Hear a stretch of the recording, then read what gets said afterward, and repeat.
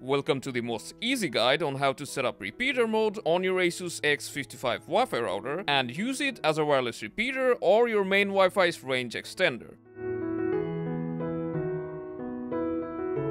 To set up your Asus router as a repeater, you just need to connect the power cable and nothing else. After that, just connect your router and we can begin the process. And before we start, make sure that you're connected to your router's Wi-Fi. If it's your first time setting up, then on your Wi-Fi list, your router will show up as ASUS underscore 2 numbers. So select it and connect to it. After that, open your browser and go to asusrouter.com.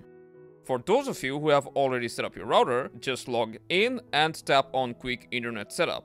You will land on the same page, and from here you need to click on Advanced Settings. Then select Choose Operation Mode, then Repeater Mode. Now from this list, simply select your router which you want to extend. Now in this security bar, you need to enter your old router's password. And it is very important to put in the correct password or else this won't work. So make sure that you have double checked your password before putting it in. Now select either automatic IP or manually assign if your IP has any requirements. Then enter your new Wi-Fi name and password or you can keep it as is and hit apply. If it's your first time setting your router up, then next you'll be prompted to enter your router's login name and create a new password using which you can log into your router later. Then you just need to hit next and that's how simply you have finished the setup process.